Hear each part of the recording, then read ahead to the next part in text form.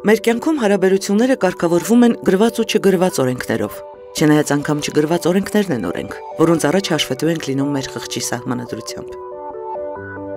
Տարիները չեն քաշվի հասկանալու համար, թե երբ սկսվեց հասարակության կյանքում հարաբերությունների իրավական կարգավորումը։ Կներկայացնենք հաշվարկի մեծ հետաքրքրող սկիզբը։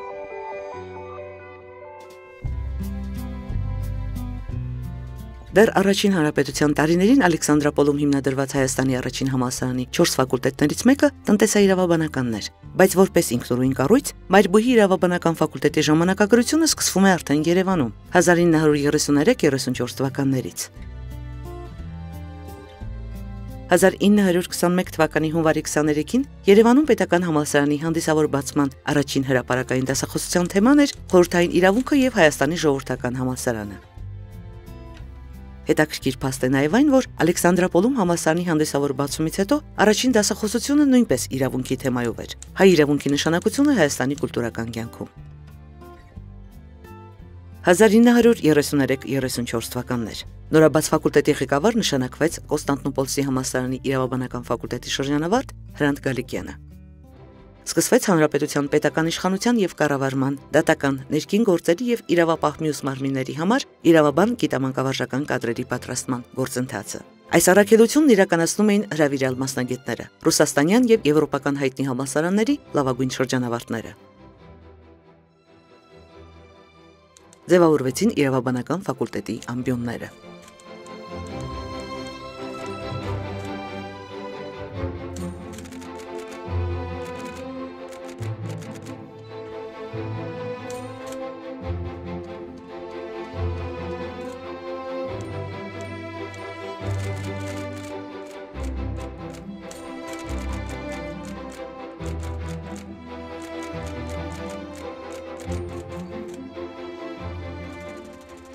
Մեծ հայրենականից հետո խորհրդային Հայաստանում իրավաբան մասնագետներ կրթելու գործը ստանձնել էին այս բնագավառում հայտնի պրոֆեսորները, փորձառու մասնագետները։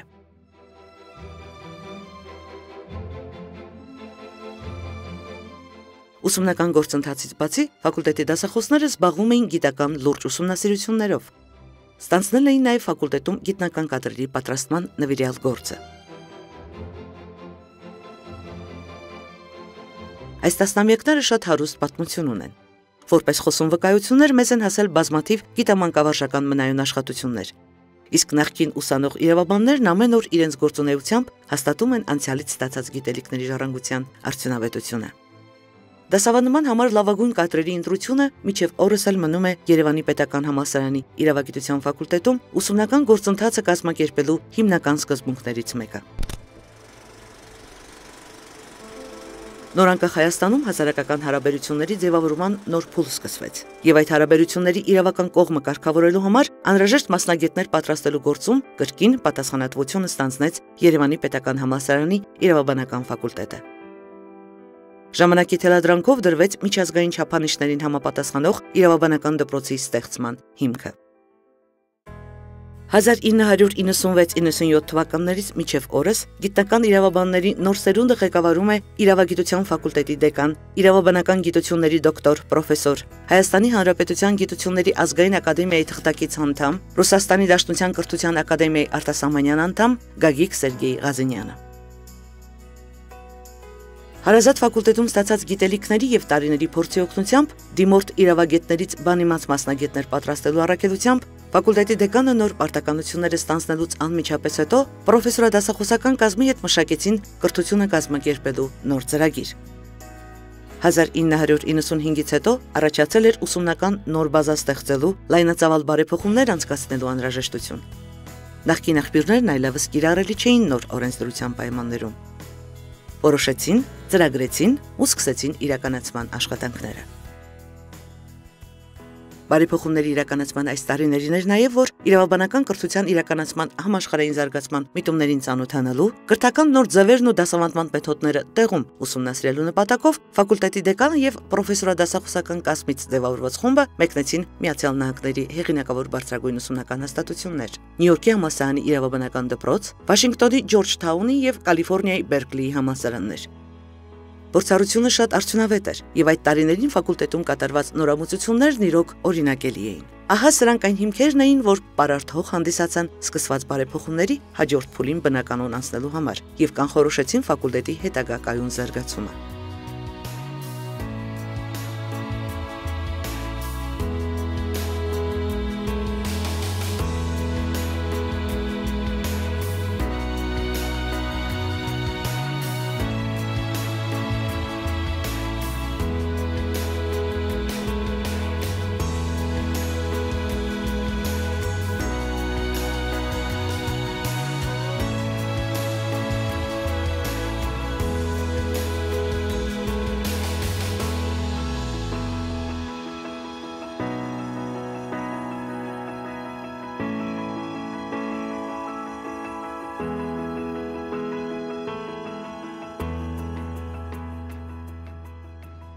այս ուսումնական տարվա սկզբից մենք նախաձեռնել ենք մի գործընթաց, որը բավականին լավ արձագանք գտավ մեր տարբեր կառույցների, պրակտիկ կառույցների կողմից։ Խոսքը վերաբերվում է առաջին հերթին այդ կառույցների կառույցների արդիական, իրավական, այդպես լուրջ խնդիրներ բովանդակող խնդիրների մեզ ներկայացում, որոնց հիման վրա ձևավորում են մեր հետազոտական բազան սկսած ուսանողական, գիտական ընկերության աշխատանքների թեմատիկայից, պլյուս մագիստրոսական թեզերի թեմատիկա, ավարտական աշխատանքներ, ընդհանուր միջև տեխնացուական ատենախոսությունների թեմատիկա եւ գիտական աշխատանքներ, դրանք կլինեն առանձին դասախոսների կողմից կատարվող կամ ամբիոնային։ Եվ պայմանավորվածությունը այդ կառույցներից, որոնց թիվը մոտ 40 է, ովքեր արձագանք են այդ մեր խնդրանքին, պայմանավորվածությունը այնպեսին է, որ հարկ եղած դեպքում նրանք տրամադրում են մեզ նաև անհրաժեշտ նյութեր, ոչ միայն իրենց խնդիրները, այլև անհրաժեշտ նյութեր, եթե ունեն հնարավորություն նաև մասնակցում են հետազոտությունների կատարմանը եւ վերջին հաշվով իրենց հետաքրող կամ արդյունավետ այսպես եզրակացությունների դեպքում կամ արդյունքի դեպքում տրամադրվում է այդ կառույցներին իրենց օգտագործման համար դասընթացի նոր ուսանողամետ ծրագրերը ուղղակիորեն նպաստելու են դասավանդման մեթոդիկայի կատարելագործմանը, ապահովելով դասընթացի անցկացումը ավանդական դասախոսությունից սկսած մինչև ինտերակտիվ մեթոդներով, բանավեճերի, քննարկումների, գիտագործնական ցուցադրությունների եւ այլ ձևերի կազմակերպմամբ։ 2005 թվականի համանդրական բարեփոխումներից հետո անհրաժեշտություն առաջացավ բոլոր օրենսդրական ակտերը վերանայել համապատասխանեցնել համանդրությանը ահա այսպես մենք էլ պետք է փորձենք վարել ճկուն քաղաքականություն, որպեսզի դրան զուգահեռ կարողանանք մեր ուսումնական գործընթացը կազմակերպել հետ չմնալու համար այդ հասարակական զարգացումներից։ Այդ դասագրքերից հետո արդեն անհրաժեշտություն պետք է առաջանա սկզբունքորեն վերանայել դասավանդման մեթոդիկան։ Արդեն անցան այն ժամանակները, երբ որ ակադեմիական ոճով, այսպես ուսանողները գրեին առնում, դասախոսները ընթերցում էին շատ հաճախ այդ նյութը ուսանողները տանը սովորում, վերադառնում նույն բանը մատուցում դասախոսին եւ ամեն ինչ շատ լավ էր։ Թվում էր թե գիտելիքները ձեռք են բերվել։ Իրականում հիմա կարելի է ուղղակի ժպիտով հիշել այդ ժամանակները, մենք էլ ենք անցել այդ ժամանակներում։ Հիմա բոլորովին այլ է մոտեցումը։ Որքան էլ կատարելագործված լինեն իրավաբանական կրթության կազմակերպելու տեսական եւ գործնական մեթոդները, ոչինչ չի հաջողի, եթե ուսուցման հիմքում ընկած չեն ուսանող դասախոս առողջ հարաբերությունները։ Իրավագիտության ֆակուլտետում իրականացվում է ուսանողակենտրոն քաղաքականություն։ Օրենքի ապագա պաշտպաններն այստեղ սովորում են նախ եւ առաջ իմանալ իրենց իրավունքներն ու պարտականությունները, որpիսի հետագայում կարողանան պաշտպանել ուրիշների իրավունքը։ Այստեղ դաստիարակվում է նաև նրանց քաղաքացիական իրավագիտակցությունը։ Ուսման ընթացքում շատ հաճախ են լինում դժվարություններ, բայց բոլոր դժվարություններն հաղթահարել են եւ կա ամուր անձնակազմ եւ մեծ դրանում օժանդակում են եւ դասախոսները եւ ուսանողները։ Մեր ֆակուլտետում կան գրված եւ չգրված օրենքներ, օրինակ իմ տարիքի ուսանող աղջիկները շատ են սիրում համարցակ հագնվել, պերսինգներ անել, դաջվածներ եւ այլն։ Դրանում գուցե եւ ինչ որ բադ բան չկա, սակայն չեմ պատկերացնում, որ ապագա իրավաբանը, փաստաբանը կամ դատավորը պերսինգով կամ դաջվածքով ներկայանա դատավարությանը Եվ այդպիսի թույլություններից հրաժարվելը վաղուց մեզ համար արդեն դադարել է զողողություն լինել։ Ֆակուլտետը կարևոր նշանակություն ունի ոչ միայն իրավունքի ուսումնասիրության համար, այլ նաև առհասարակ մարդկային արժեքների ձեռքբերման։ Սա կյանքի դպրոց է, որն ըստ էության ֆակուլտետում գործող պրոֆեսորա դասախոսական անձնակազմի բացառիկ հատկությունների, բացառիկ ունակությունների շնորհիվ հասանելի է դառնում ուսանողին։ Ինձ առաջին դիսկուրսից շատ սկզբունքային է դրվածքը ֆակուլտետում եւ պահպանվում է բոլորի կողմից, երկու կողմերի, եթե մենք համարենք դա հարաբերություններ ուսանող դասախոս։ Ուսանողներին առաջին իսկ օրվանից ասվում է, որ իրենք այլ աշխարհում են հայտնվում այս օրվանից եւ իրենց արդեն հոգեբանորեն պետք է պատրաստեն։ Իսկ դրա համար մարդը պետք է կարողանա նույն ուսանողը առաջներթին իր իրավունքները պաշտպանել, որպեսզի հետագայում կարողանա ուրիշինը պաշտպանել։ Այն ուսանողը, ով ուզում է եւ կարողանում է սովորել, որևէ խնդիր չունի մեր ֆակուլտետում։ Ուսանողին առաջին հերթին փորձում ենք ներարկել իր կողմից համապատասխան վարքագծի կանոններ դրսևորելու դեպքում ֆակուլտետի համասարանի նկատմամբ, ընդհանրապես հասարակության եւ կյանքի նկատմամբ, ուրեմն նաեւ պահանջներ իր կողմից, որովհետեւ իր նկատմամբ էլ վերաբեր հարաբեր պահանջները կամ լինեն հարաբերությունները նույն կերպ։ Դրա արդյունքը այդ սոցհարցումներն են, այսպես կոչված, որը կանադրական պահանջ է համասարանի համար եւ յուրաքանչյուր տարի արդեն մոտ 10 տարի անց ենք ացում երկու ամեն կիսամյակ, դրանք անանուն են այդ հարցումները։ Եթե առաջ տարիներին նույնիսկ կարող էինք հանդիպել որոշակի դեպքերի, որ նույնիսկ կանոններով կարող են դասախոսներից դժգոհել տարբեր տեսակի սուբյեկտիվ վերաբերմունքի համար եւ այլը, ուրախությամբ պետք է նշեմ, որ վերջի տարիներին դրանք նո գրեթե չեն պատահում։ Որպես կանոն առաջարկություններ, ցանկություններ կամ երախտագիտություն նրանք ովքեր որ իրենց կարծիքով հասել են իրենց նպատակներին եւ ձեռք են բերել են գիտելիքները, ինչին որ հավակնել են։ Մենք հետեւություններ անպայման անում ենք եւ այդ արդյունքները քննարկում են հենց իրենց հետ շատ բաց, որում ես մենակ որ որևէ ձևով կաշկանդվածություն չլինի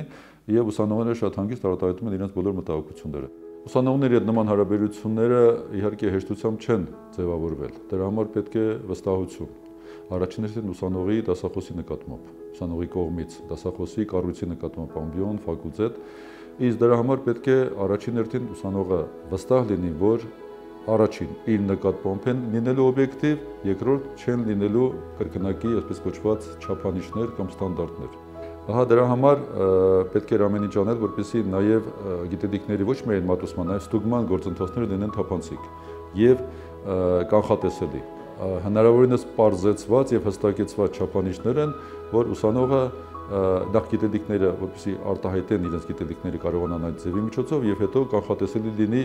գիտելիքներին համապատասխան թվանշանի ստացումը որևէ վիճարկելի, որևէ բան չունի։ Եվ իհարկե հիմքում դրված է նորից արդեն մի անգամ էլ նշեմ այն գաղափարը, որ մենք պատրաստում ենք պրակտիկ իրավաբաններ։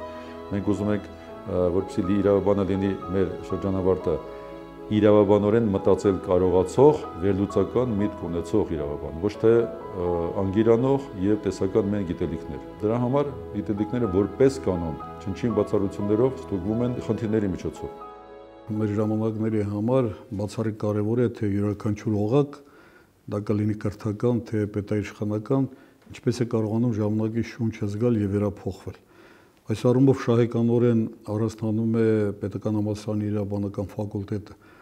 Երևի թե եթե համատում ենք նաև միջազգային առումով տարբեր համալսարանների հետ ես արարքներ ունեցել եմ շատ շփվել, առաջիններից մեկն էր, որը ստեղծեց Մարիանի լեզվով դասագրքեր։ Առաջիններից մեկն էր, որ ձեռնամուխ եղավ իրավական մտածողությունը փոխելու։ Առաջիններից մեկն էր, որ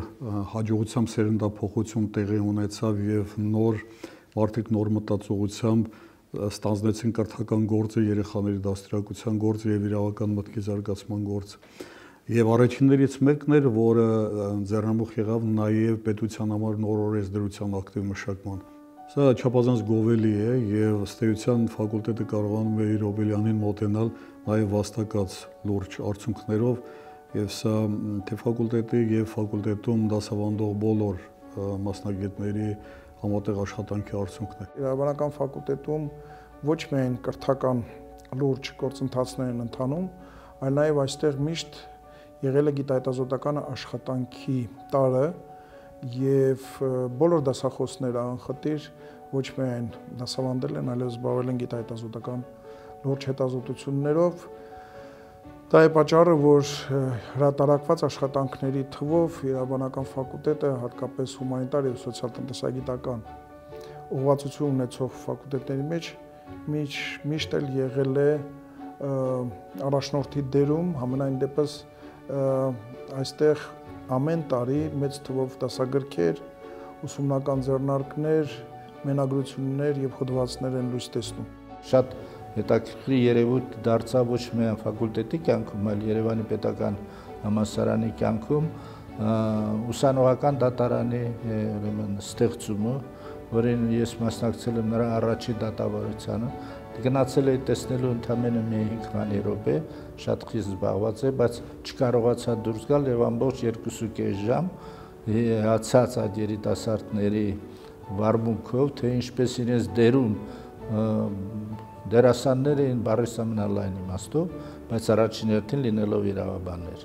Եվ այդտեղից այդ տպավորությամբ եւ երևի թե ֆակուլտետի անձնակազմը շարունակեց իր գործունեությունը տարիների ընթացքում, դարձավ ֆակուլտետը հանրահայտ ամբողջ նախկին սովետական տարածքում, ոչ միայն սովետական տարածքում, այլ նաեւ համաշխարհային միջազգային հարաբերություններում, որովհետև ֆակուլտետը եւ իրենք են կազմակերպում եւ մասնակցում են տարբեր միջազգային գիտաժողովների, հավաքույթների, տարբեր բնույթի միջոցառումների։ Առանց նսեմացնելու որևէ մասնակցության դեր ու նշանակություն հասարակության կյանքում։ Որը դեպքերում պետք է ընդունենք, որ միակ մասնակցությունը, որը պահանջված է հասարակական կյանքի բոլոր առանց բացառության ոլորտներում։ Իսկ դա բարտավորեցնող է մեզ համար, որպեսզի պատրաստենք լավագույն կադրեր մեր այդ այդ կարգավորումները լավագույնս կատարելու համար եւ մեր հասարակական կյանքի զարգացումը ապահովելու համար։